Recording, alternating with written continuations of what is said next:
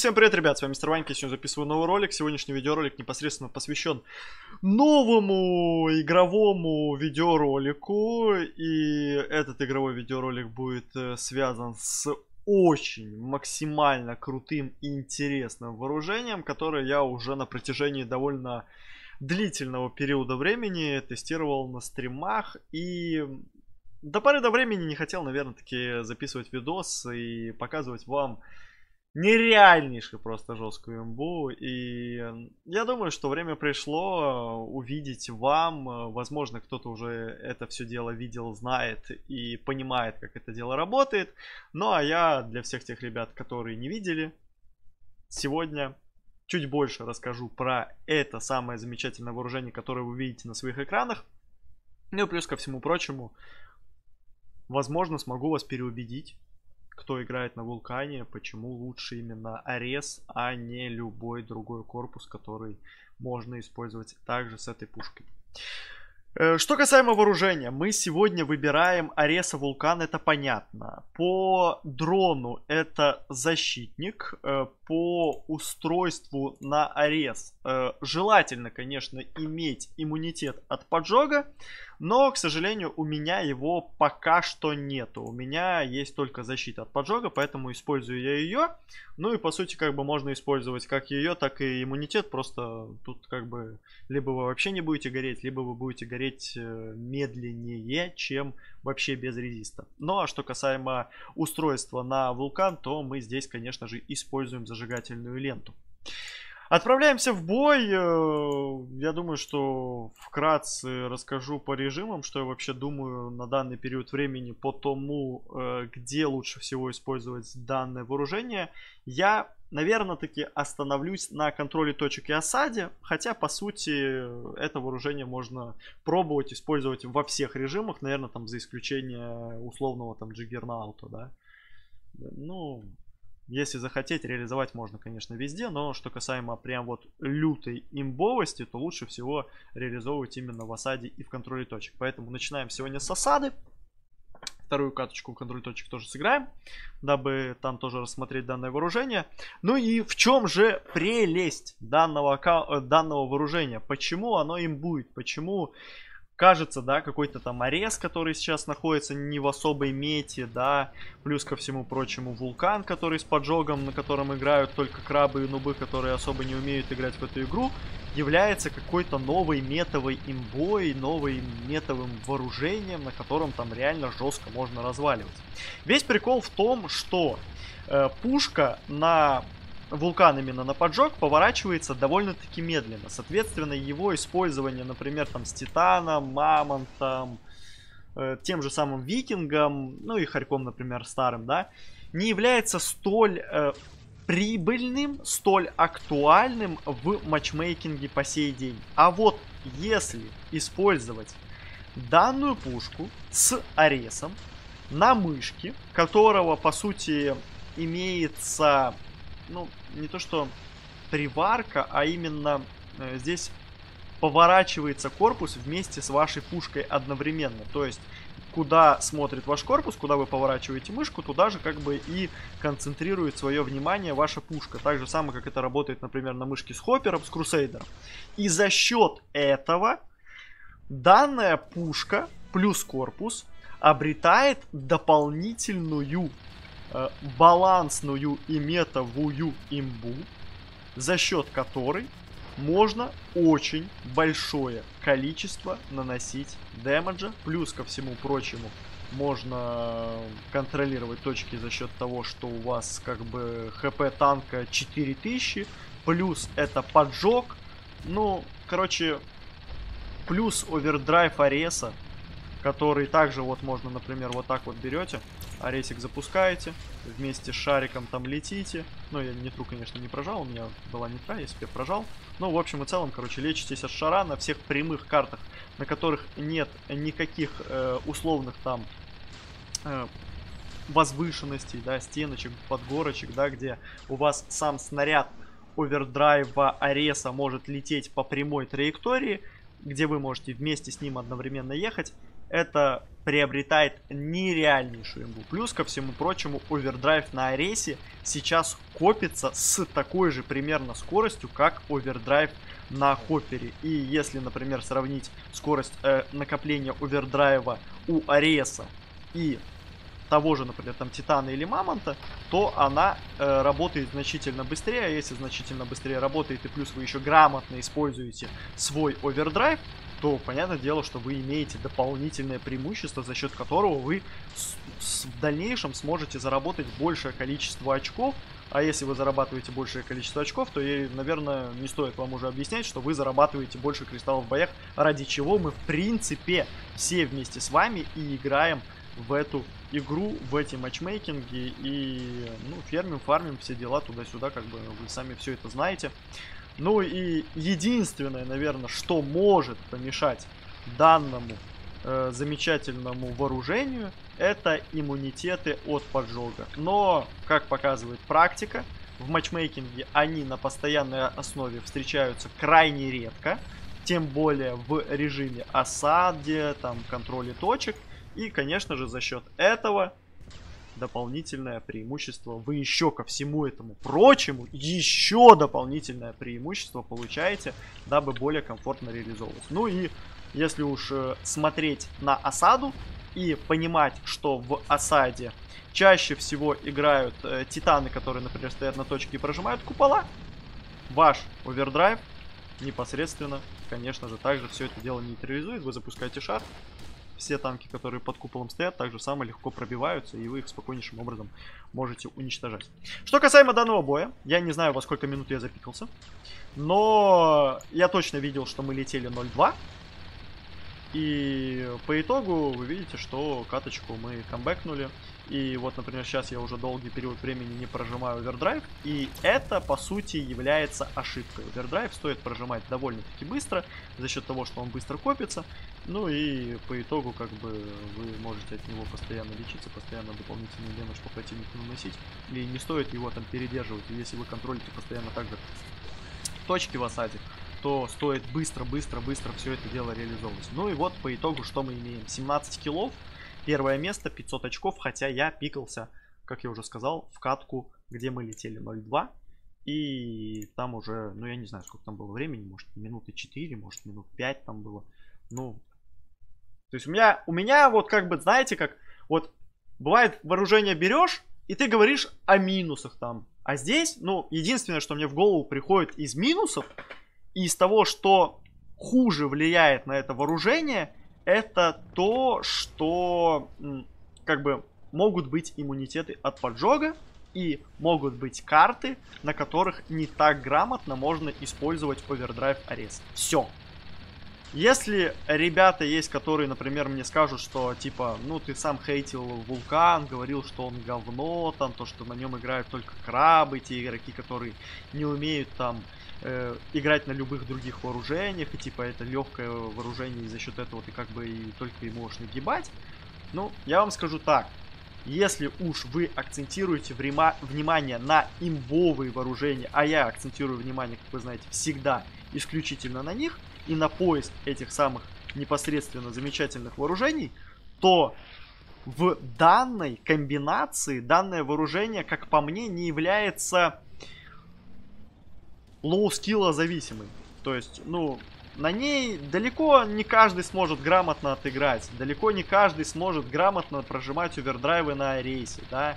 И если, например, использование с хорьком данного вооружения это было изи каточка, то есть, ну там вообще со старым хорьком ничего сложного не было. Вы прожали овердрайв, там все танки сразу улетают, легкая малина, да, стоишь, жмешь пробел и все. То здесь как бы по технике уже, ну, немножко, немножко, возможно, в каких-то моментах сложнее, ну и плюс по имбовости оно намного-намного жестче нежели тот самый хорек. То есть здесь у вас есть преимущество по хп. За счет преимущества по хп вы контролируете точки. За счет того, что вы контролируете точки, вы получаете дополнительные очки, вы получаете дополнительный процент овердрайва. Ну и ко всему прочему, как бы, ну, понятное дело, что все в конечном итоге упирается в то, что вы фармите больше опыта, фармите больше кристаллов. Ну и фермите. Все, все, все, что вам нужно, вы все реализовываете по максимуму. Наверное, стоит теперь только запотеть сейчас и выиграть эту катку. Потому что пока что мы никак не можем захватить точку. У меня есть овердрайв, у меня есть full хп. Э, кстати, лучше э, вулкан всегда сразу же начинать заряжать, чтобы у вас именно поджог сразу пошел, да? Единственная проблема, наверное, вот, которая мне больше всего бесит, это когда долго играешь, вот этот звук, знаете, с этого пулемета, ту -ту -ту -ту -ту -ту, этот звук, конечно, потом начинает напрягать, а так, в принципе, ну, больше нет. особо ничего так не напрягает. По легким танкам вообще можно с кайфом очень большое количество дэмэджа наносить. И это, конечно, огромнейший, огромнейший плюс. Огромнейший плюс. Давайте. А, не успел. Ну и вот, видите, тоже овердрайв, если в тайминг нажмешь э, не совсем грамотно, то овердрайв может слететь, а шар даже и не успеет вылететь. Иногда овердрайв остается, иногда овердрайв э, просто-напросто полностью пропадает. Вот здесь точку надо, конечно же, проконтролировать. И сейчас законтролируем, заберем, будет великолепно. Но вот видите, овердрайв был бы, сейчас было бы все очень круто. ХП было бы, противников всех слил бы. Ну а так... Опять точку не захватили, опять точку не захватили. Что касаемо киллов, конечно, все очень круто. Киллы есть. Противники уничтожаются. К слову, меня закинул на первую катку 6 на 6. Вторая катка тоже 6 на 6. Новые изменения в этом плане мне очень даже нравятся то, что на не совсем больших картах э, меньшее количество игроков, меньшее количество мяса бесполезного на карте. Ну и я, конечно, больше рад тому, что меньше тиммейтов, которые мешают, да, то есть не так уж страшно, что противников меньше, как э, страшно, когда тиммейты постоянно тебе мешают, постоянно какой-то ерундой занимаются, и за счет этого ты там где-то не добиваешь, где-то не наносишь большее количество урона, ну и так далее. Три минуты до конца. Полбоя уже сыграно, по очкам, э, в принципе, по киллам неплохо. Э, единственный момент э, проблемы этой катки это то, что мы никак не можем захватить точку. Если бы мы ее уже бы парочку бы захватили, было бы прям максимально четко, максимально круто. Плюс я бы получил бы дополнительные очки, те, которые мне как раз таки и необходимы. Ну, я думаю, что получится еще захватить. Возможно, одну, возможно, парочку. Ну и также не стоит передерживать э, по одному танку. То есть, если противник не имеет иммунитета от поджога, желательно поджигать один танк, потом переходить на следующий танк, потом на следующий танк. Э, Все равно он как бы будет гореть. И там условно пол хп вы надамаживаете, да, плюс там аптечку прожимает молодой человек, плюс еще там что-то. И уже в дальнейшем вы там сливаете, добиваете и у вас в этом плане все реализуется. Так, точку наконец-то мы захватили. Э, точка рискуется прямо в этом же самом месте. Я думаю, что если мы сейчас прямо еще разочек захватим, будет прям вообще супер великолепно. У меня единственное только кулдаун ДДшки. Плюс э, викинг на овердрайве. Но я надеюсь, что мы его сольем. И быстрее мы успеем захватить точку, нежели он сейчас отреспится и начнет по мне наносить урон. Если это будет так, то будет очень круто. Будет очень-очень круто если все можно будет реализовать так, как я хочу. Ну и после этой катки, я думаю, что сыграем еще один боечек контроля точек, потому что, ну, по осаде здесь все максимально крайне понятно и ясно. На осаде это вооружение, ну, разваливает все, что движется просто-напросто. Все уносит. Очень легкую, очень с кайфом.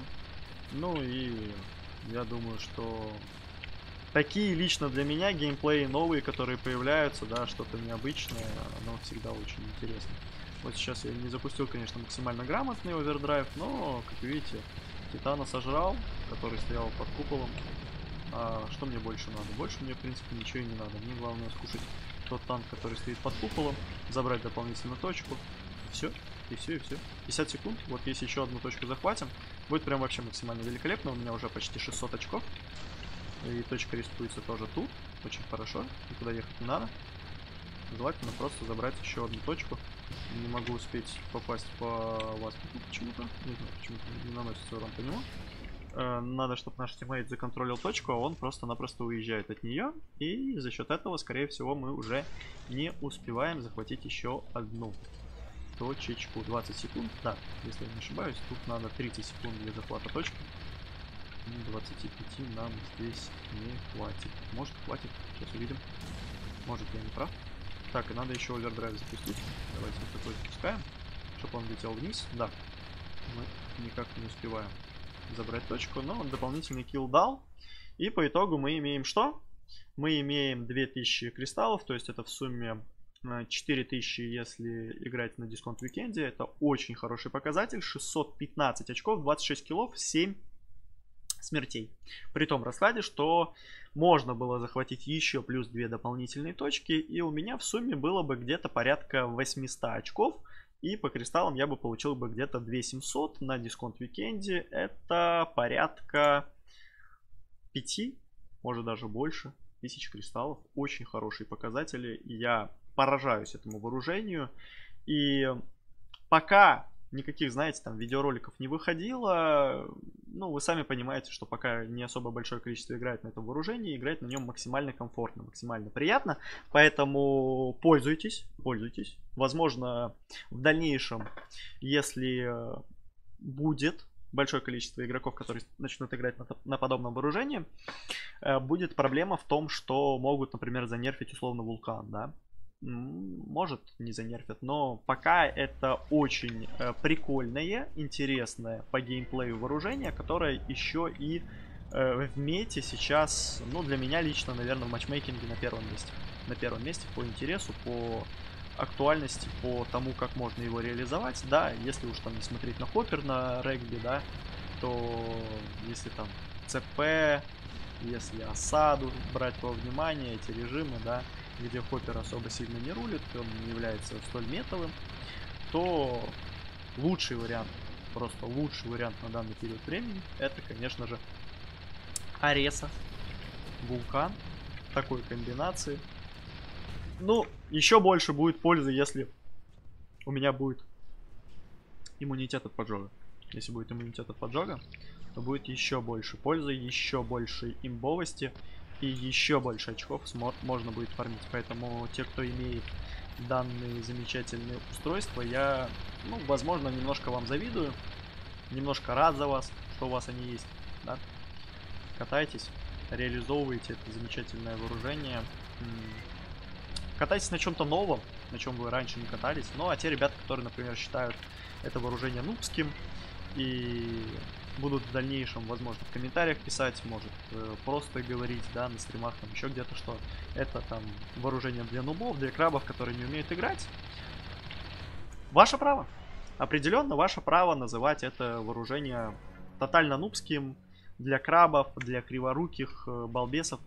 Но поверьте мне, криворукий балбес не сможет грамотно реализовать это вооружение. Я уверен на 100%, что далеко не каждый игрок сможет комфортно играть на этом вооружении и комфортно, стабильно набирать большое количество очков. Ну а вы не хотите, ну не катайте. Будет меньше, меньше аресов, больше, больше возможностей пофермить, пофармить. Это, конечно, меня не может не радовать. Так, что касаемо этого боя. Что касаемо этого боя, меня запикало в очередной раз в начатый бой. По очкам я не знаю, я не последил, сколько здесь чего у кого было. Но уже на третье место мы вылазим. По точкам вроде как контролируем неплохо. Больше всего упарываюсь в центр. Э, в овердрайв в плюс э, дополнительные точки. Запускаем неплохой аресик. К сожалению, с центра не забираем овердрайв, который я бы, если честно, хотел бы забрать. Но ничего страшного, да, то есть, ну, не забрал, не забрал. Арес тоже там никого не кильнул. Здесь можно вообще по дорожке очень грамотно реализовывать ареса овердрайв. Здесь вот, например, с железки начинаете и просто вместе с шариком гоните. Ну, в видеоролике не особо так прям максимально грамотно получается это реализовать. Но я думаю, что в дальнейшем можно будет вам показать, вот если даже в этой карте у меня сейчас еще появится. Но нам надо выиграть, конечно. В первую очередь нам надо выиграть этот бой. Но если сейчас будет у меня овер и эти точки будут под контролем нашим мини-салют, будет отличная возможность показать вам, как эффективно можно использовать овердрайв Арес, если вы, например, играете в ЦП. Так, у меня, к сожалению, ДДшки нету. Так, урона по Хантеру неплохо залетело. Еще бы поджога бы добавил, бы было бы вообще великолепно. Нитра у меня пока что на кулдауне. Сейчас давайте дождемся, пока у меня она появится. Попробуем захватить точку Б. Ну, либо же мне сейчас отрезать его на а, Ну и тогда уже с респа по этой траектории проедемся, по которой я говорил. Три точки под нашим контролем, четвертая почти забирается. Как раз сейчас э, А точка под контролем противника. Есть отличная возможность упороться в нее, но я вижу, что есть также проблемы на точке Е. Поэтому давайте отдадим предпочтение именно ей. Плюс противник ставит купол. Не прожмем сверхгениальный, конечно, здесь овердрайв. Но, в общем и целом, заставим противника потерять точку. Заберем ее. И, возможно, сейчас попытаемся еще забрать точку С. Да, в этом видеоролике не получилось именно сделать. Ну, и в, этой, в этой карте, по крайней мере, то, что я хотел. Хотя вот сейчас еще будет тоже. И может быть сейчас. Но сейчас тоже я как не вижу смысла сжать его куда-то в другое место, этот купол. Лучше уж слить тот танк, который может проконтролить точку. И сейчас наши тиммейты еще заберут. Плюс выигранная катка. Лучше сыграю на верочку и на победку, нежели запущу овердрайв, покажу вам что-то крутое. И при этом проиграю бой. Но в первом бою, если не ошибаюсь, там что-то подобное показывал. В общем и целом, есть отлично большое, отличное большое количество возможностей грамотно, правильно реализовывать данный овердрайв на рейсе. Пробуйте, экспериментируйте. Я для себя, наверное, сейчас это вооружение буду ставить на первое место по таким форматом, как контроль точек осада. Если Хоппер до сих пор остается лучшим вооружением на захвате флага на регби, то здесь контроль точек осада 100% ставлю приоритет Аресу Вулкану и в дальнейшем надеюсь на то, что мне выпадет иммунитет от поджога и я в дальнейшем еще один видеоролик запишу с этим вооружением. Возможно что-то новое уже научусь делать на этом вооружении, возможно какие-то фишечки подъедут, э, Посмотрим, посмотрим. Время всегда, которое вы проводите на определенном вооружении, в дальнейшем как-то окупается тем, что вы учитесь чему-то новому, на подобных интересных, замечательных вооружениях.